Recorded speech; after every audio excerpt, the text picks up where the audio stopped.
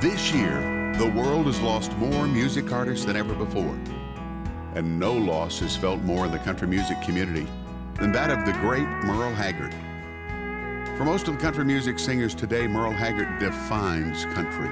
They listened to his music, mimicked his writing and singing style, and hope that one of their songs might one day be compared to The Hag. Greatness like this doesn't come along very often. Here at Country's Family Reunion, we believe in bringing honor to whom honor is due. And setting aside a time to remember Merle Haggard is at the top of that list. Merle had agreed to be on this series, but sadly went home on his 79th birthday. This series is our tribute to him. All three of his sons are here, as well as a ton of his friends and fellow artists, and hosted by Whispering Bill Anderson. Together, they remember Merle Haggard as he really was a father, a friend, a great songwriter, and of course, one of the biggest legends in country music history. Welcome to Country's Family Reunion Tribute to Merle Haggard.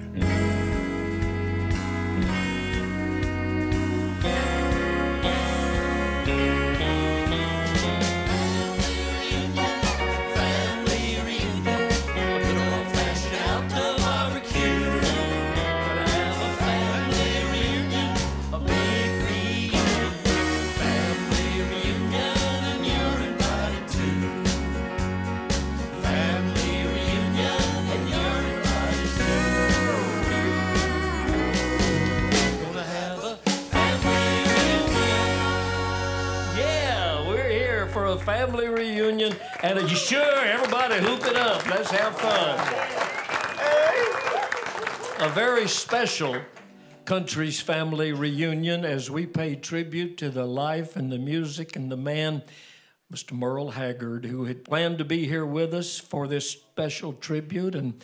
The good Lord had other plans and called Merle home on his 79th birthday in April of 2016.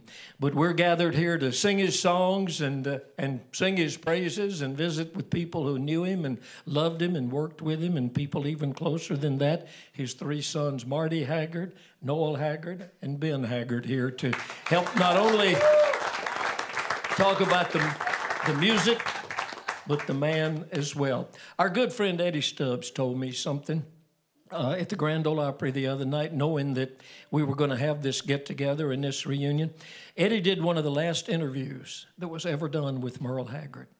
And he asked Merle on that interview as it was wrapping up, he said, Merle, how do you want to be remembered?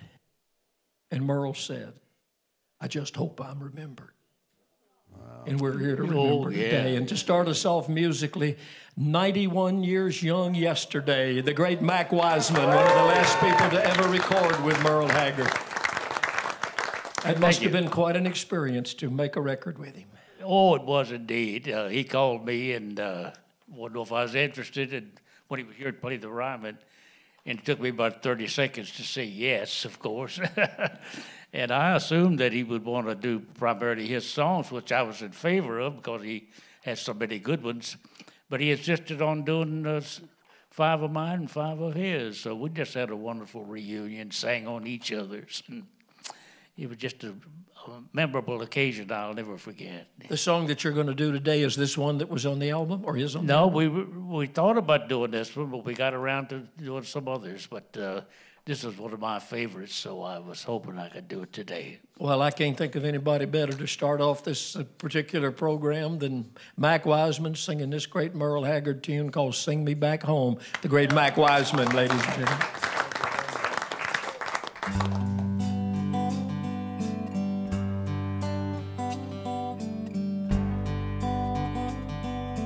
The warden led a prisoner down the hallway to his doom. I stood up to say goodbye like all the rest. And I heard him tell the warden just before he reached myself. Let my guitar play, friend do my request. Let him sing me back home with a song I used to hear. Make my old memories come alive.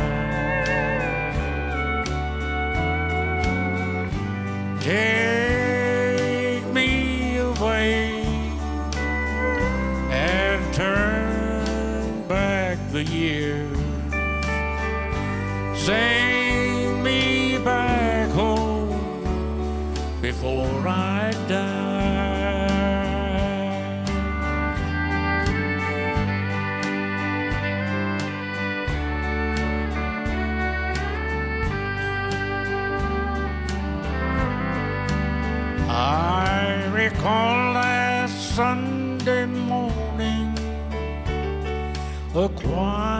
From across the street came to sing a few old gospel songs. And I heard him tell the singers there's a song my mama sang. Can I hear before we move along? Sing me back home the song my mama sang.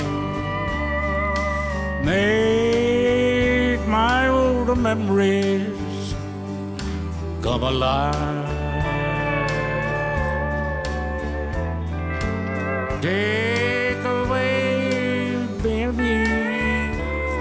turn back the years, sing me back home before I die.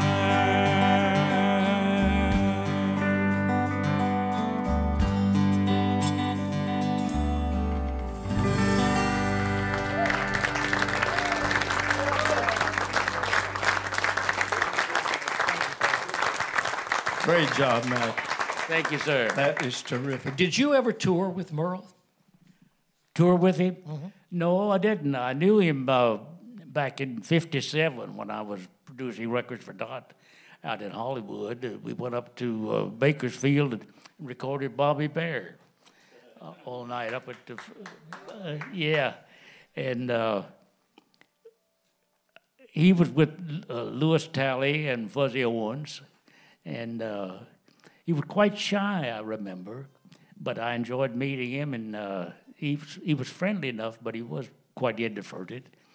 But uh, we had a wonderful time uh, visiting then, and uh, a number of other times. When I was in Branson, uh, he was there filling in when Willie Nelson had to be out of town, and he came by one morning and uh, picked me up in his pickup truck. We went and had breakfast, and he asked if I'd go out at his house and visit with his uh, two youngsters and his wife, and we did. We had a wonderful visit out there.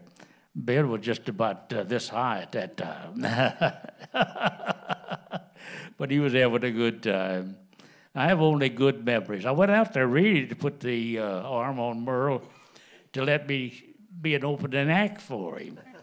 But after I watched him a couple of nights, I told him, I said, you don't need no, no, no opening act. Uh, that was my job, thank you. yes, that's right. Yeah. So I had the first morning show in Branson. I did a morning show at 10 o'clock and uh, then uh, just hung around the rest of the time. I was on the road a lot. My calendar was full the whole year because I didn't know I was going out there until later in the season, you know. But he was just that kind of a fellow. We uh, tell a little story here that I hope everybody won't mind. Uh, he was in town recording one time, and uh, I went out to the recording studio because I didn't know him that well, other than just being acquainted with him. But I knew Lewis and, and Fuzzy real well, and I took a pint of moonshine whiskey. Oh, no. Well, Lewis and Fuzz really liked that. And Merle took a break on his session and came out with his little dog under his arm, and he took a sip out of it, you know. And which he was friendly, but uh, concentrating on his session, I'm sure. But a few nights later, I was just taking my shoes off and fixing to go to bed, and his phone rang, and it was Merle. He said, uh, I've let all my band go back, fly back to California. I got to drive that bus all the way back by myself. Said, You got any more of that sipping stuff you had? so I got up and took him a pint of that moonshine down to the motel. And he poured it in the gas tank, right? yeah. yeah, he put it in the gas tank. I mentioned when we first started that uh, the original plan was Merle was going to be here today. And I was telling Yeah. Noel and Ben and Marty, I, I said, before we started, I said, Your dad was going to be here Yeah. today. And Noel said something very profound. You said, You looked around and you said, He is here. Oh, Indeed. Yeah. Indeed. So. He's all over the place. Yeah, yeah, he really is. I hope so. Marty, you're the oldest of the sons. What, what's your earliest memory of your dad? I don't know if I could tell that one. he was married to my mama, and it wasn't the best of relationships. um, you know what, brother? Um, there's too many. Um, it's like a, it's like a, a movie running full, you know, too fast to watch in my head. When did you realize he was Merle Haggard, the star, and not just daddy? I never did.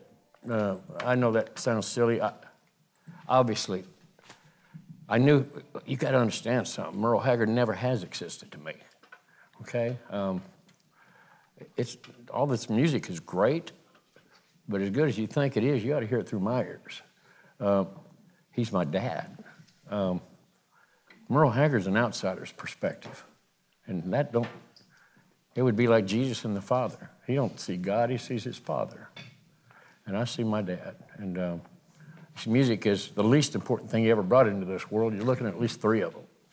Okay, these, these, are, this is the best work he's ever done right here. Noel strutting back there. I'm doing Barney Fife. What, do you echo what, what Marty says? Uh, about him not being Merle, but just Oh, being yeah, I remember um, I stowed away underneath the bus. I got tired of the uh, looking at the taillights pull out. So I stowed away under the bus, and that's when I remember he was Merle Haggard. You got under the bus? Yeah, I got yeah, I got in, in you know the cargo place. You got tired of watching? We got there about 300 miles down the road, and uh, I popped out, and he said, "Well, give him a job." You know, so I Put you to work. passed out programs. Yeah, How old were you at that point? I was about 11. wow. He's a stowaway. He ain't, he ain't leaving me no more, brother. I'm, I'm going with you. Ben, being the youngest, uh, you maybe had a have a different perspective. You you joined the band and played as a part of the Strangers for how many years now? Uh, it was eight years, I believe. Yeah. Eight years. Started when I was 15. I'm 23, 22. All that I have heard forever about Ben Haggard is that you are a fantastic guitar player. Did your dad teach you to play guitar? Well, I didn't really let him hear me until I. Did he went on stage? you know, my mom, she, uh, she said, you need to listen to Ben. You know, and I'd be out in the garage playing. And I never thought of anything that I'd be good enough to get out on stage with him, you know. And, uh, and he uh, finally heard me and he's like, God dang, you know. He called me one day, Ben. He said, uh, he had like a tear in his voice. He said, I can't say the words. He said, Benny's playing his ass off, is what he said. You know? he said, No, he said, I'm serious. You need to listen to him. So you you joined the band at some point in, in all of your lives. You, you were you part of the Strangers? I know you were on the road with him and on the stage with him. I yeah. I was were you ever him. like part of the Strangers? I was. I was in when Leona and him when Leona left him. Um, the, third one to leave him at, at that time. Um, it was in 1982. It was just be, maybe 83 because that's where love goes. Um, I was doing concessions with Dad. I was his partner in that thing, and Leona had left, and I happened to be walking by the front of the stage, and up, up to that point, I'd always done my own thing. But Dad said, "Hey, Marty, get up here, grab your guitar. I to sing harmony and play rhythm for me tonight." He said, he said, Leona left me. I said, I don't sing harmony, Dad. He said, just get up here. We get home, we'll, I'll get somebody else. That was two years later. I was still up there. Not singing harmony. no. but it was it was a great it was a Ronnie, you know the band, you know it was Tiny and Tiny Moore and it, it was a 13 piece band. It was probably the best band I've ever heard in my life. And I sat on the very Eldon end. Shamblin. Yeah, but I sat on the very end with Tiny, and um, musically speaking, that was probably the funnest period of my life. But yeah, Dad, I think that's what Willie said that Dad, Dad and Willie, um, the one thing they had in common was all their boys had played in his band. I'm the only one that got text fired, though. They got what? Text fired. He got fired by Oh. text. Didn't even get a call. And I said, wait, Merle don't know how to text. You mean your father fired you with a text message? His wife, his mom, fired me through a text. But you were hired two days later, right? He, he told me not to do something. I did it anyway.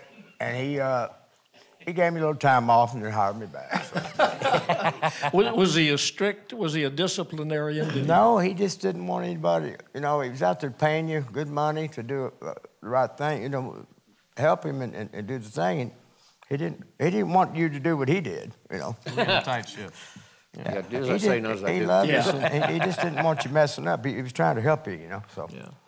Did he, being on the stage, would he correct you and, and tell you certain things to do or not to do? Oh yeah, You know, right when I uh, started when I was 15 and about as nervous as I can get, he would he would tell me when I did something wrong. He made me made me kick off strangers four different times one night because I didn't get it right, you know.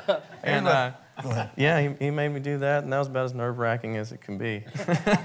Benny was driving the bus when he was what? 15. Sev- 15 years old, and and uh, and I think right after that he quit because Dad come up and chewed him out, and he said, "I don't want to do that no more." You know. But, yeah, I retired early. yeah. Ronnie Reno, you knew Merle for a lot of years. I want to mention what Eddie Stubbs told me. Of course, your dad was the great Don Reno, banjo great and bluegrass legend. Eddie Stubbs told me that when Merle was in prison, that there was a disc jockey there in the that little prison radio station. Yeah. And that Merle fell in love with your dad Reno and Smiley with their record of Sweethearts in Heaven, and that that was one of the things that influenced him to want to sing country music. Oh yeah, and he loved Mac Wiseman too. That's where he heard Mac, I think, up there. And uh, And I produced that Sweethearts in Heaven. yeah, Mac did. It- Oh, that's right. That is when you were with Dot Records, isn't it? It's it's a small world to be so big, but uh, yeah, Merle loved uh, he loved bluegrass. He really did, and I didn't know his history in bluegrass until I had met him and been around him. We used to uh, open his shows with I was with Bob and Sonny, the Osborne brothers, and we started opening Merle shows for him, and, and that's the way I got to meet him, got to know him, and uh, he just uh, we I mean he could he'd tear up uh, Molly and Tim Brooks on the fiddle. Just I mean he loved it. He really did, and. Uh, Did he ever cut a bluegrass album? he did. He did. I did one on him um, called the Bluegrass Sessions uh, back in 2007, I believe. And of course, uh, you know, it's, it's uh, how do you get Merle Haggard to do a bluegrass album? Uh, so actually, we just used the bluegrass uh, musicians and, and let Merle be Merle and sort of do it the way he wanted to do it. And so, you know, so that's all you can do.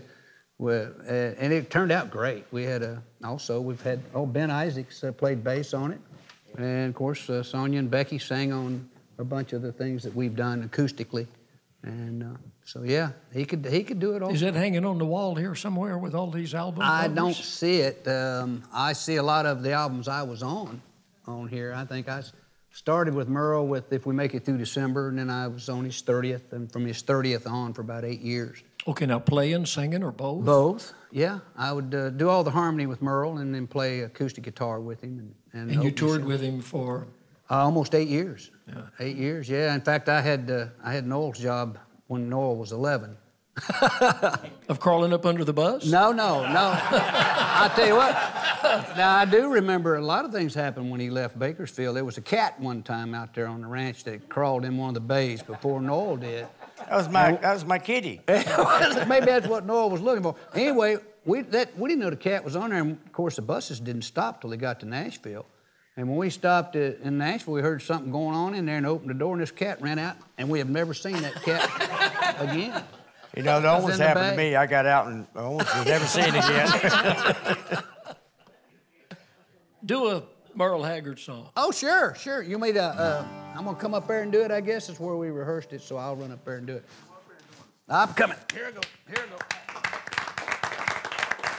Of course, the people that watch Country's Family Reunion, Ronnie Reno is no stranger because he has the the bluegrass show on the RFD network. You still doing those? I am. I sure am, Bill. Yeah, and uh, hats off to RFD for sure. You bet. But uh, and uh, actually, I was on this record, so um, honored, very honored to do it. Honky Tonk Nighttime Man.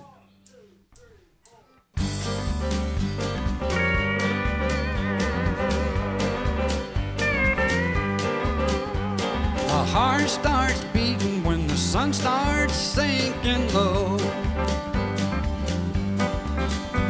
My heart starts beating when the sun starts sinking low.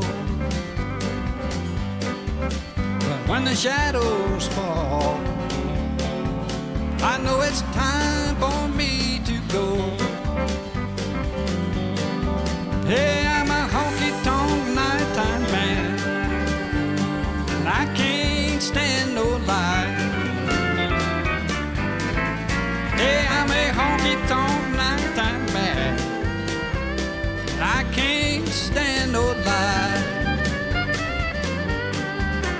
get my rest in the daytime. Do my run, run, running around at night.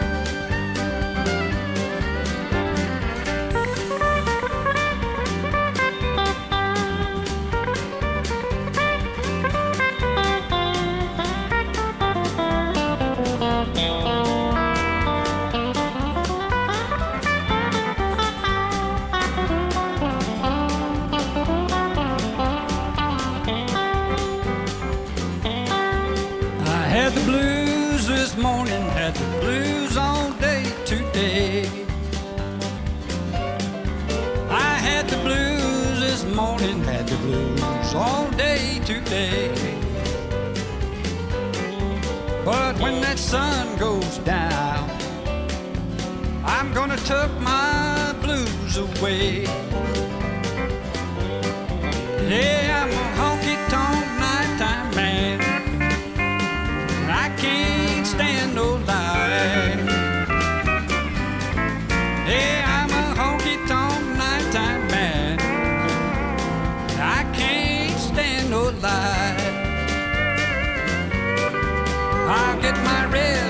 daytime. Do my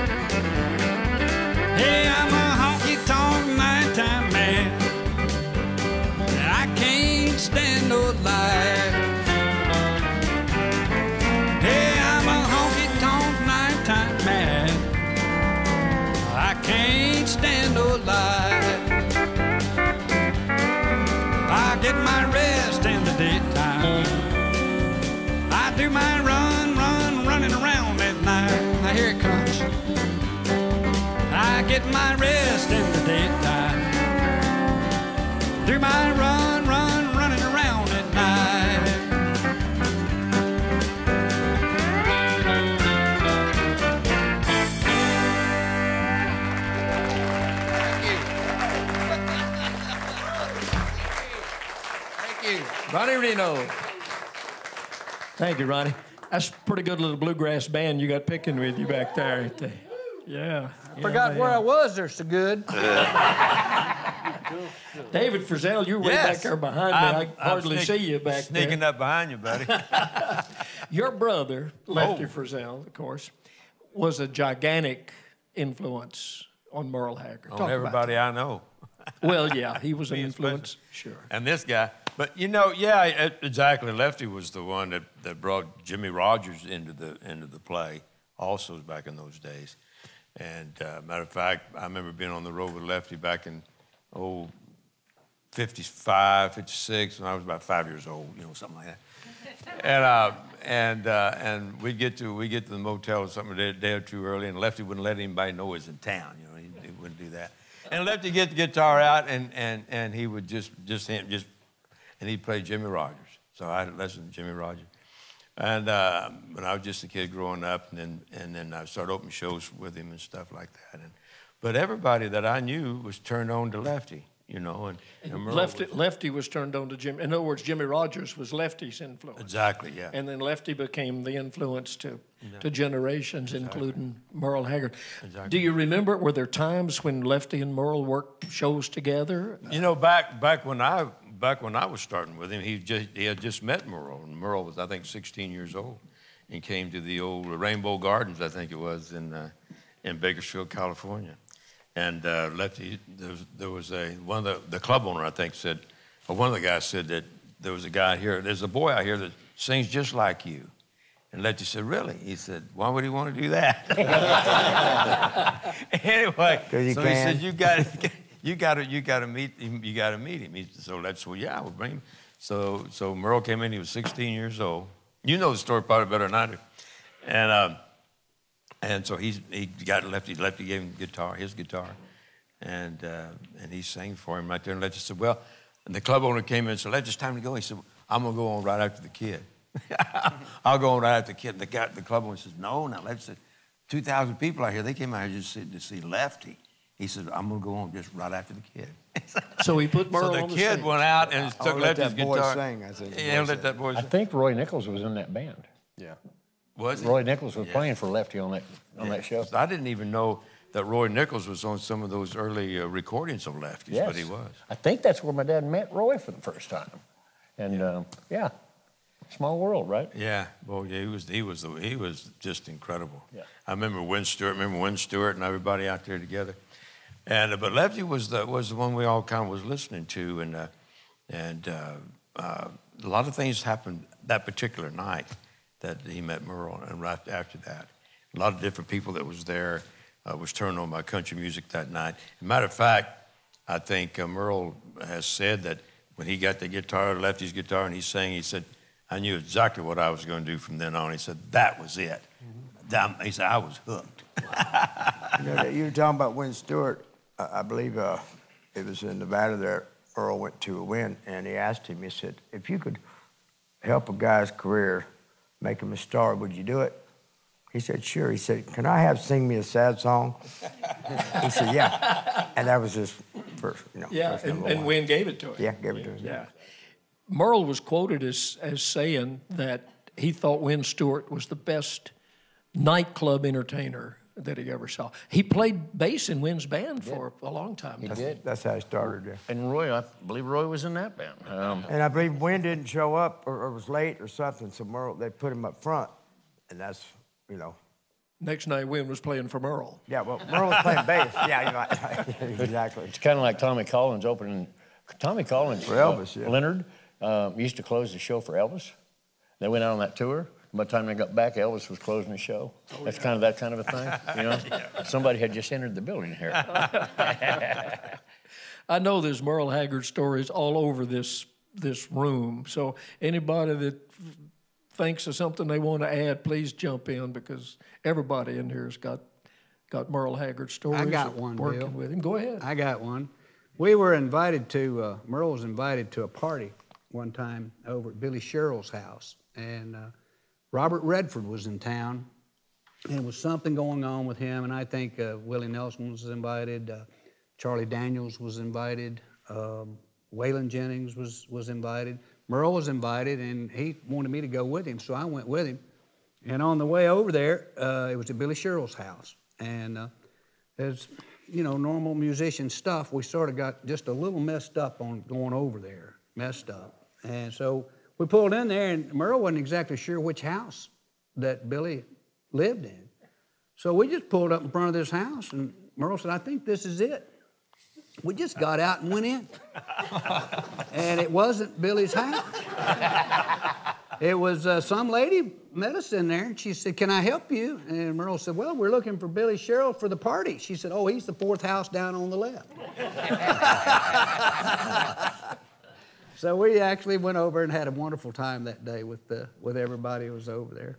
The guy sitting behind you in the bright blue shirt, Buddy Cannon, you produced the last two records, didn't you, that Merle recorded?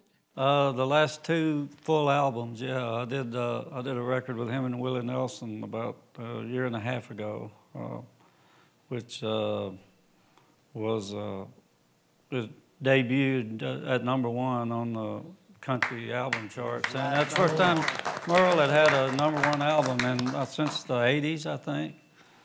And uh, man, it was uh, when I got the call to do that project. I mean, I've been working with Willie quite a bit over the years, so he and I got got our comfort zone down. But I thought Merle Haggard, holy crap, how am I going to do this? You know.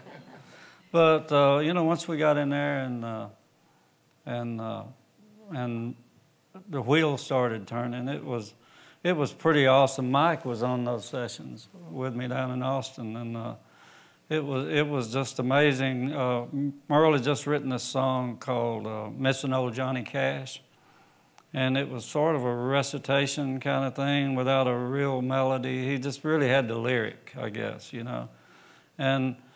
Uh, it was fun to see all the pickers gathered around him and Merle's creative wheels start turning. And in a matter of about 10 minutes, that song just blossomed into a thing, you know, and it, it was just awesome. And it was really, uh, you know, getting to see the Merle Haggard studio genius at work, you know. When you produce somebody like Merle Haggard, you don't stand there and tell him how to sing, do you? Heck no.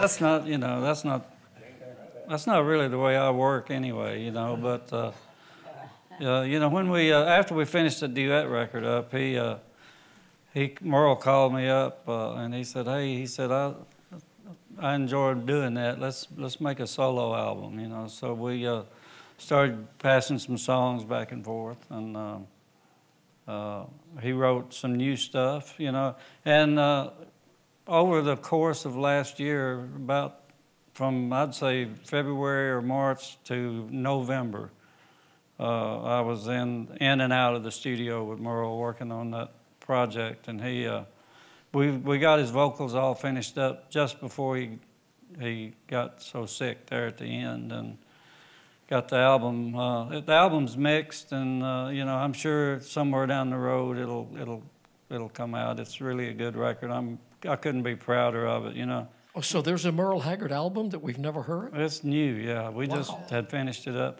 Uh, when we started cutting uh, on the stuff, he told me he said, "Hey, call uh, call old Vince Gill up and." And see if he'll sing some harmony on here with me. Vince and Sonya Isaacs, he said. Both of them are in the room today. Wow. He said, I, I would love to have them on it. Called Vince. He said, I'll sing on the whole album. you know? Ended up on four or five cuts, uh, he, him and Sonya. Talk about that, Vince. Talk about the experience. Well, it's like a dream come true. You know, um, I got to sing on one thing that he did with Mac, um, and you know, just if I have a favorite in, in life, it was him. And so, the best part was to be when you when you're in the studio and you get under the cans, you get under the headphones, you really hear, you know, and just I, I knew every note of, of all of his music, you know, and and uh, it was imperative that it it was the best I could possibly be because it meant so much.